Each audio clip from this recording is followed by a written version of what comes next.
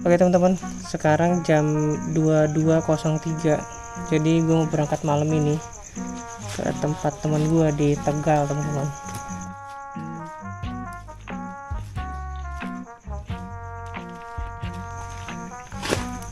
Acaranya itu jam 9 pagi akadnya Kemudian hari Jumat jam 9 pagi. Nah sekarang hari Kamis jam 10 malam jadi kalau gue mau jalan pagi itu nggak mungkin nyampe. Dan kalaupun nyampe itu gue harus nggak pakai istirahat. Dan itu gue nggak mau teman-teman. Jadi kalau gue berangkat sekarang kan gue bisa istirahat jam 3 istirahat jam 4 tidur terus jalan lagi.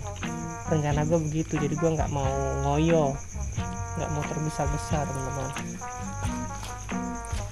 Ya udahlah. Kalau di samping udah. Kalau di samping serep udah.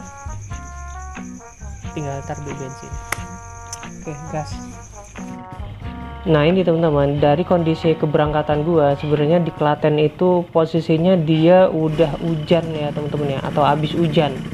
Karena sebelumnya itu hujan 15 menit berhenti terus hujan lagi gerimis gerimis agak deres terus berhenti lagi begitu seterusnya. Nah, ini gua khawatir nih ke depannya bakal begitu lagi. Akhirnya teman-teman gua nyampe Rogolan nah ini tadi sih gua nanya sama tukang pom bensin sih katanya ini uh, deket atau perbatasan antara Klaten dan juga Yogyakarta Sleman teman-teman. Kayak gitu. Nah ini berhenti lagi gue teman-teman. Hujan lagi. Tuh. Hujannya tuh sebenarnya nggak deres ya men ya. Cuma apa ya? Kalau dipakai jalan 15 menit 30 menit tuh basah kuyup teman-teman. Jaket gue untungnya tebel ya. Jadi basah teman-teman. Mau ya nggak nyampe dalam sih ya udah jadi sekarang jam setengah 12 lagi. Ya setengah 12 baru nyampe sini. Ya udahlah sabarlah pelan-pelan nih nah, akhirnya udah mulai reda ya teman-teman ya.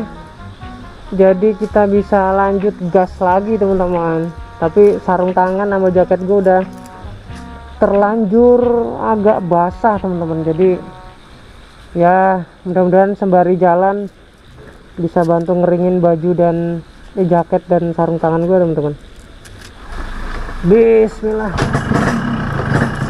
Gerombolan Yogyakarta kalau nggak salah. Tuh masih banyak tuh. Nggak ada mendingan lah. Kita mau berhenti dulu ya kan? Gua udah sampai jalan Wonosobo Magelang ya teman-teman ya. Ini bener-bener gelap banget teman-teman. Gelap banget dan penerangannya juga jarang dan kanan kiri bener-bener masih hutan teman-teman. Ini bener-bener horornya tuh berasa apa atmosfer horornya tuh anjir. Gokil banget sih. Ntar deh jalannya ya. Gelap banget. Seperti yang gue bilang tadi teman-teman ya bahwa di jalan ini bener-bener sumber penerangan itu sangat minim banget teman-teman. Bahkan bisa gue bilang uh, di suatu jalan itu bisa jadi penerangan hanya dari lampu motor gua teman-teman. Ya tapi memang sih beberapa saat kemudian nemu perkampungan ya. kemudian ada penerangan dari lampu rumah dan kemudian gelap lagi teman-teman. Begitu terus dan berjam-jam seperti ini teman-teman. Jadi yang gua khawatirkan itu ketika gua masuk ke bagian hutan-hutannya itu ke bagian yang tidak ada penerangan yang gua dan ada lubang atau ada jurang atau jalannya licin. itu yang paling gua khawatirkan teman-teman. Tapi alhamdulillah nggak ada masalah teman-teman. Akhirnya nyampe Wonosobo ya teman-teman ya. Jam 1.14 Wonosobo. Nama jalannya apa tadi ya? Jalan Sapuran Salaman. Jalan Purworejo eh bukan Jalan Sapuran Salaman. Ya Jalan Sapuran Salaman. Jam 1.14 ini jalannya bener-bener gelap banget teman-teman. Jadi percuma mau gua rekam pun nggak bakal kelihatan teman-teman. Gelap banget. Sumber cahaya cuma dari lampu motor gua doang teman-teman. Tapi ya di sini masih mending lah daripada di apa namanya di Jawa Barat sana di jalur selatan. Karena di sini nih ya paling ter berapa kilo terus ada rumah lagi banyak ada kampung berapa kilo terus ada kampung lagi. Jadi nggak begitu anu apa namanya horornya nggak begitu lama. Memang sih gelapnya tuh bener-bener apa ya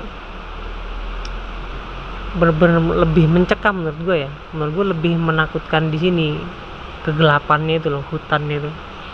Lebih serem di daerah Wonosobo sini daripada di apa di Garut apa di jalur selatan situlah pokoknya lah. Kayak gitu. Cuma di sini nggak jauh ada kampung lagi nggak jauh ada kampung lagi. Dan juga di sini dingin banget cok udah jaket gue basah tadi kan hujanan di Sleman sana di Yogyakarta. Jaket gue basah. Kaos gue juga agak-agak lembab nih jadi gue double teman-teman. Gue pakai baju dua nih kaos dua plus jaket nanti. Jadi mudah-mudahan nggak kedinginan gue cok karena mau tidur juga belum ngantuk gue paling mau makan dulu. Iya kayak gini dong ya. Uh, nguap-nguap doang tapi dibawa tidur nggak bisa. Kemudian di rest area Wonosobo ini teman-teman gua mampir sebentar ya. Nggak sebentar sih cukup lama sih. Untuk makan dan minum teh anget dulu teman-teman. Karena badan gue udah kedinginan dan tangan gue udah mulai kesemutan. Karena kedinginan juga teman-teman kayak gitu ya. Jadi di sini gue makan rica-rica teman-teman ya dan teh panas manis teman-teman. Nah ini lumayan seger lagi badan gue kemudian di rest area ini gue sempet sempetin untuk ke toilet ya untuk bersihin muka untuk cuci tangan terus untuk pipis dan lain-lain ya kan.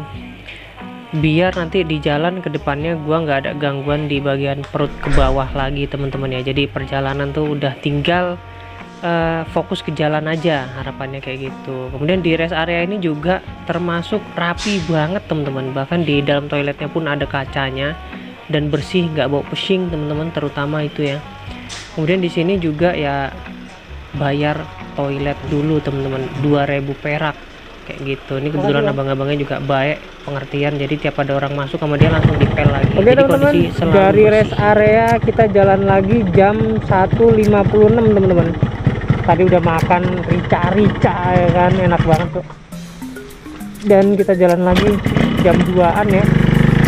Oke gas. Dan di sini dingin banget ya ya. Dingin banget parah dingin parah. Ini aja gue udah pakai kaos double. Jaket. Ini di tangan masih berasa dingin banget. Tunggu bawa sarung tangan tadi. Ya deh men kita gas dulu ya mudah-mudahan selamat amin. Pasar Sapuran Wonosobo. Ini alun-alun ya kayaknya. Alun-alun Sapuran Wonosobo.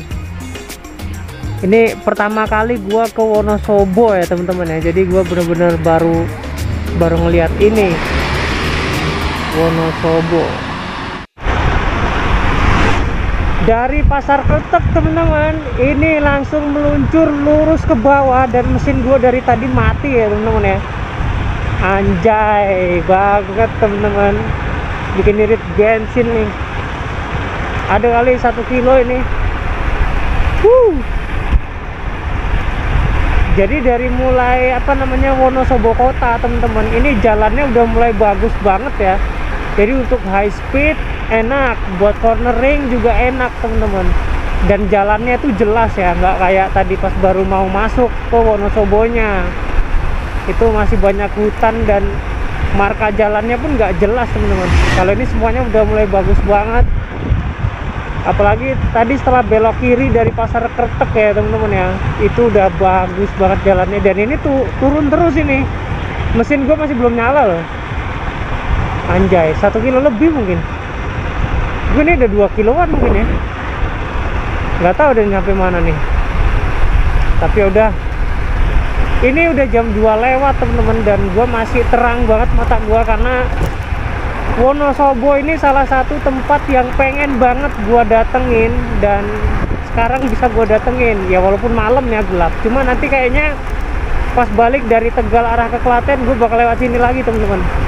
Biar gua tahu banget kondisi siangnya tuh kayak gimana kayak gitu men. Oke ini akan gua nikmati dulu perjalanan downhill ini teman-teman ya.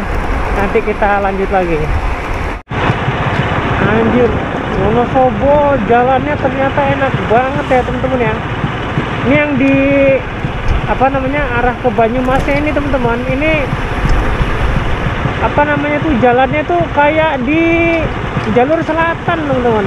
Kayak di daerah Garut Ciamis kayak gitu-gitu jadi jalannya tuh lebar tapi kelok-keloknya tuh enak banget teman-teman nih. Ini aja dari tadi gue turun dulu ini.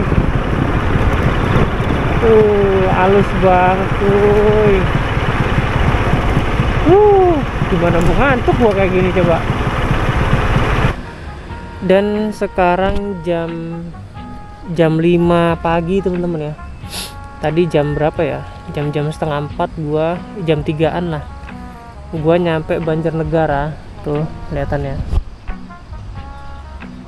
Banjarnegara dan dan gue tadi tidur dulu sekitar jam 3 atau mungkin setengah tiga mungkin ya. Dan gue udah tidur terus sholat subuh pipis dan kita mau jalan lagi teman-teman. Jadi santai aja jalannya karena tadi pas sampai Wonosobo ya Wonosobo kan gue makan tuh. Nah ternyata abis makan gue ngantuk teman-teman. Sesuai prediksi banget sih. Cuma ya udahlah malah syukur gue malah bisa tidur teman-teman. Kayak gitu. Ini gue mau jalan lagi jam 5 udah sampai. Baru masuk Banjarnegara sih kayaknya. Kayak gitu. Belum belum jauh banget. Oke teman-teman kita gas lagi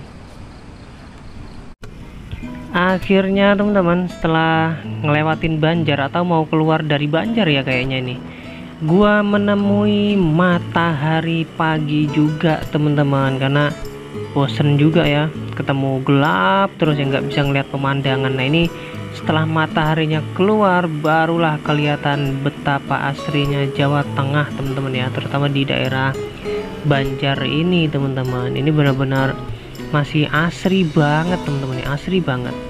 Kayak gitu benar masih organik banget lah ibarat kata. Tapi ini gua di map gua dilewatin jalan kayak jalan-jalan kelurahan ya ini ya. Karena apa ya jalannya masih lumayan kecil teman-teman. Jadi gua nggak bisa gaspol di sini. Jadi ya sebatas jalan-jalan santai aja lah. 40-50 teman-teman. Nggak berani buka gas gede-gede gua karena masih banyak orang yang nyebrang sembarangan banyak orang yang nggak pakai helm segala macem lah. Jadi yang jelas gua menahan diri gua. Kayak gitu teman-teman. Kemudian di sini juga masih banyak banget daerah persawahan. Dan yang jelas ini nggak kayak di Wonosobo tadi ya teman-teman ya. Ini jalannya lebih dominan daratan daratan yang panjang teman-teman. Kayak gitu. Jadi gua ya nggak takut akan tikungan yang licin lagi teman-teman. Kayak gitu lebih santai lah. Lebih bisa menikmati perjalanan kalau di sini karena ya terang dan juga jalannya lebih terkondisi teman-teman. Kemudian di sini gue pas lampu merah gue ketemu sama Pak D Pak D teman-teman yang naik motor ereking juga. Dia cerita sih motornya tahun 96 teman-teman. Dan kelihatan motor masih sehat banget. Dan juga gue salut gitu loh kalau ngeliat orang tua tuh masih doyan naik ereking tuh dilihat tuh kayak kayak seger gitu hilang tuanya teman-teman kesannya kayak gitu. Kemudian di sini teman-teman kalau gue lihat di map sih ini mulai masuk ke wilayah Purbalingga teman-teman. Ini gue apa ya di awal perjalanan ini sih memang kesannya tanjakannya tuh landai dan ya nikmat lah teman-teman. Tapi nggak tahu ntar ke depannya seperti apa tapi sih di awal masuk Purbalingga ini gue cukup menikmati perjalanan gue teman-teman. Karena memang viewnya bagus banget jalannya juga bagus banget dan juga kanan kirinya tuh bersih.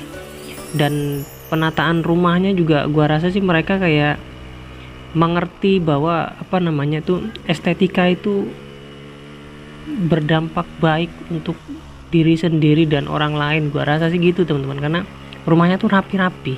Dan bersih dan catnya pun bagus kayak gitu. Jadi ya menambah menambah suasana asik di perjalanan gua kali ini teman-teman.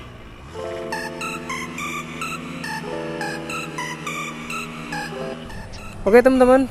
Gua lagi di Purbalingga ya teman-teman ya. Ini tanjakannya anjrit parah banget parah banget panjang banget teman-teman tapi teman-teman ya dibalik panjangnya tanjakan yang menyiksa motor gua gua dihadapkan atau gua disuguhi dengan pemandangan yang luar biasa indah banget teman-teman. Jangan lihat tuh. Di sini banyak bukit-bukit kecil tapi dia terjal teman-teman. Jalannya terjal tapi bukitnya kecil aja tuh. Tuh tadi tuh. Anjay kata gua. Tapi jalannya tuh kayak begini kagak habis-habis men. Ini aja gua masih aduh. Bensinnya boros banget jadinya cok. Anjir tapi jalannya enak men. Tadi hampir overheat mesin gua tuh. Kurang basah cok. Karena campuran buat di tangkinya udah habis. Ini gue mau nyari pom bensin. Mau beli lagi apa namanya oli samping buat dicampur. Tapi gue nggak nemu cok tuh tanjakannya tuh. Sadis banget. Sadisnya bukan masalah ini ya. Bukan masalah dia terjal apa gimana. Cuma ya terjal nggak begitu sih. Cuma ya bisa gue bilang lumayan terjal. Tapi panjangnya itu loh. Panjangnya tanjakannya itu loh. Ini gue udah 8 kilo ini naik. Lebih malah ding ya. Lebih lebih. Ini masih belum selesai selesai men. Nggak tahu sampai mana ini anjir emang. Serem banget cuk. Anjir tapi di sini gue akuin ya selain memang pemandangannya bagus itu juga disupport dengan warganya atau orang-orangnya sini yang bersih teman-teman. Bersih banget di sini. Bersih banget. Jadinya kita lewat juga selain matanya seger karena pemandangan juga nggak risih karena sampah. Gue salut sih teman-teman ya. Oke dah kita lanjut jalan lagi. Gue masih ngademin mesin sih anjir tangan gue sampai kesemutan cuk. Purbalingga tanjakannya kagak habis-habis anjir. Hah? Gak apa-apa. Semutan. Pokoknya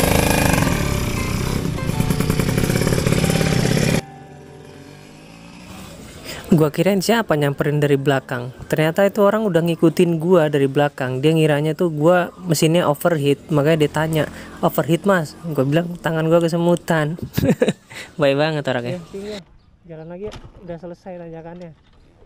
Aman. Dan teman-teman, sampai titik ini tadi setelah gua tanya sama warga sekitar, ini adalah wilayah apa ya? Seperti puncak atau tanjakan terakhir lah. Karena sisanya itu ya lebih banyak jalan turunnya teman-teman. Bukan berarti puncaknya ya bukan. Tapi ini lebih ke mungkin tanjakan terjal terakhir lah kata dia begitu. Karena setelah ini lebih banyak turunannya. Akhirnya teman-teman kita setelah sampai puncak dari Purbalingganya ini ya nggak tahu apa sih tadi namanya sekarang kita akan turun teman-teman. Turun sejauh dengan tanjakan yang kita daki tadi teman-teman ya yang kita naikin tadi tuh. Wuh, mantap.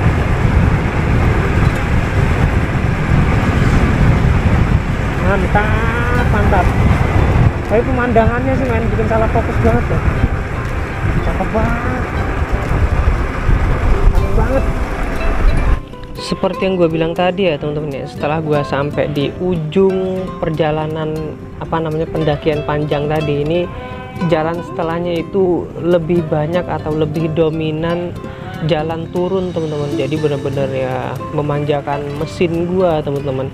Sekalian ini mesin gak gua tarik gasnya banyak-banyak karena kalian ngedinginin mesin kayak gitu ya. Karena gua nggak tahu jauh di depannya nanti itu seperti apa kayak gitu ya. Karena ini kalau gue lihat di map sih gue arahnya ke Guci ya. Gucinya memang masih ngelewatin beberapa daerah lagi cuma sih arahnya ke daerah Guci sono teman-teman. Seperti itu. Edel Edel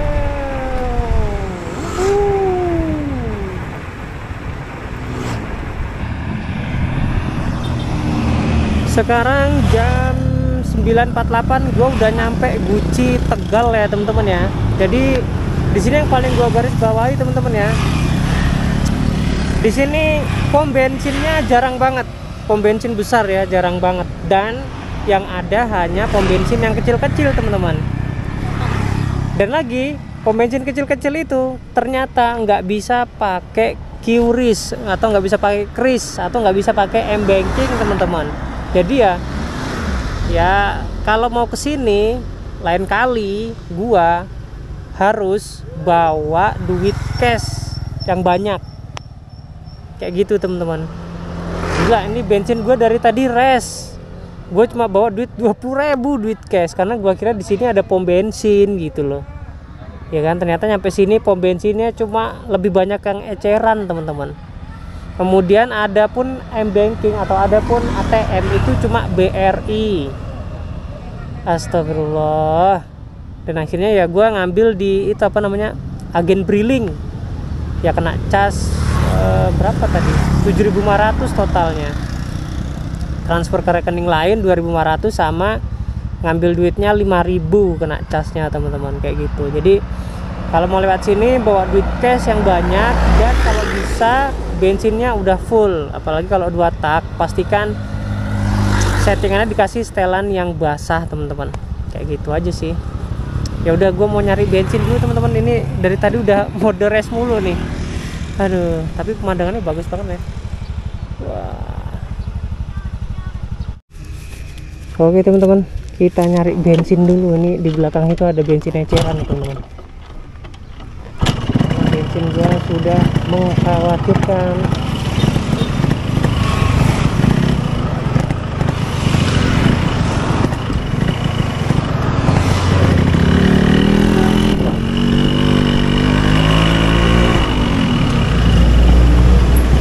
Bensin mas? Ya.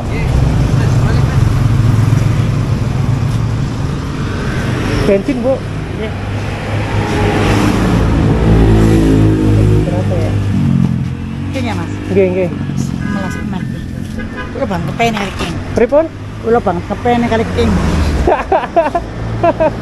masa tuh bu? Tuh Motor lanang paling seneng ini nggih toh. Walah. 3 liter bu. 40 ribu aja ya berkampung Hah? ya. Kan 50 39, jadi 40 ribu oh aja ya. udah ya betul. Pak bisa seneng ereking bu? Oh. Berisik bu Boten seneng. Ngambil gemian. walah murah-murah sana bu Boten larang mah. Niku gara-gara ponakan iku lho sing teng tuwel. Yang 35 ora hmm. Oh, di anu sih. Motif iki. Hmm. Anggo sing asli ta, gemi anggar di kasen nguk nguk nguk seneng temen.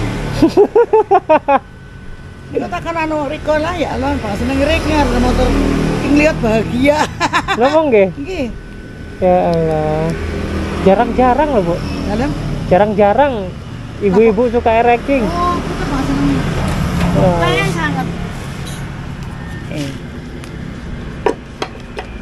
Tuh kasih pun ini paling seneng. Itu nih mau seneng mau malah motor-motor musuh model di sini ki, alah mas. Ampun tuh nus menit deh. Pulang ada motor motor king lewat sibrek sibrek. Eh, krik motor king lewat kiri. ya Allah anak ibu oh Agak. Oh. Anda preko. walah Ya ora salah dia nama masalah yang ngepen. Salah kan? enggak nggak apa-apa lah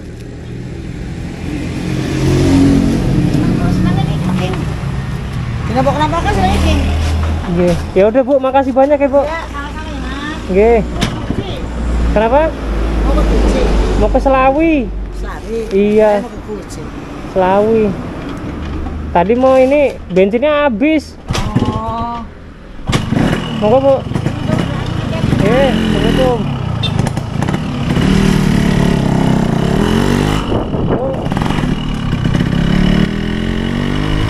ibu-ibunya unik men udah umur loh tapi masih bukan masih suka tapi sukanya ereking anjir gokil gokil banget. Ngidam katanya. Ya Allah ada aja ya. Apa bagus ereking ya pak? Ya udah dah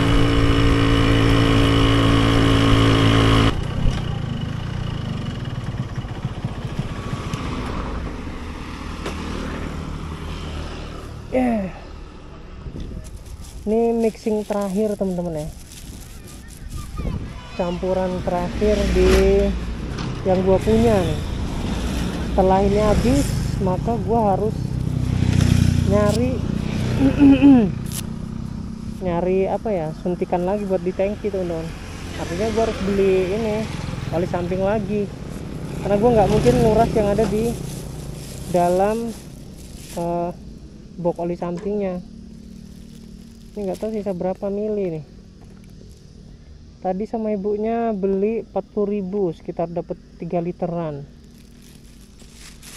Sampahnya buang di mana lagi nih? Berapa tuh? Ya elah dikit banget. Berapa mili paling 10 mili 15 mili paling ya tinggal tetes terakhir. Biarin deh tungguin deh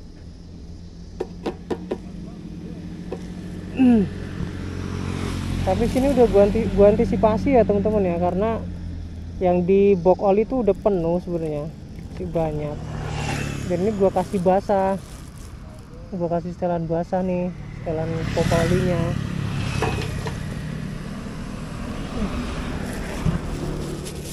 ntar nemu tong sampah kita buang men.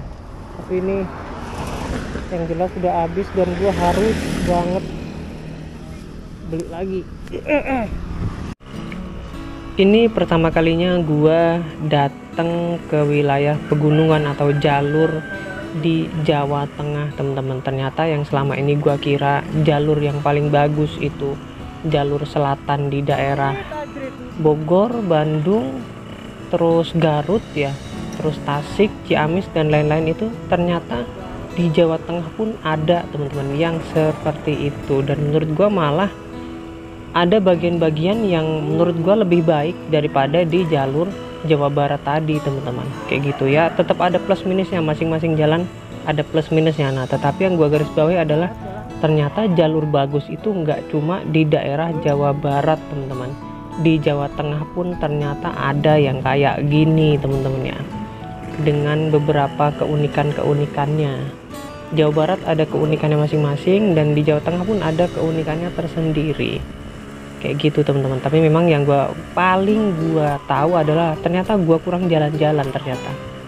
Kayak gitu main gue kurang jauh.